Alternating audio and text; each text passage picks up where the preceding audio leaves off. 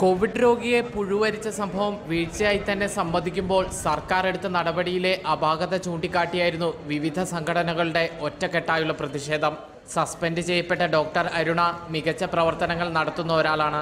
നിലനിൽക്കുന്ന പ്രശ്നങ്ങൾ മറച്ചുവെക്കാൻ കുറച്ചുപേരെ ബലിയാടാക്കുകയാണ് സർക്കാർ ചെയ്തതെന്ന ആക്ഷേപമാണ് സമരക്കാർ ഉയർത്തിയത്. കോവിഡ് രോഗികളുടെ എണ്ണം ക്രമാതീതമായി വർദ്ധിക്കുന്ന സാഹചര്യത്തിൽ മെഡിക്കൽ കോളേജിൽ സ്റ്റാഫുകളുടെ അഭാവമുണ്ട്.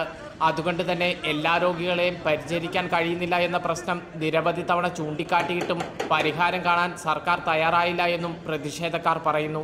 മുമ്പ് ഏഴ് ബെഡ് ഐ സി ഉണ്ടായിരുന്നത് ഇപ്പൊ ഇരുപത് ബെഡ് മുകളിലെ ഐ സിയുലേക്ക് അങ്ങനെ വിവിധ തരം ഐ സിയുകളാണ് സ്റ്റാർട്ട് ചെയ്തത്. പക്ഷെ അതിനനുസരിച്ചിട്ടുള്ള ജീവനക്കാരില്ല.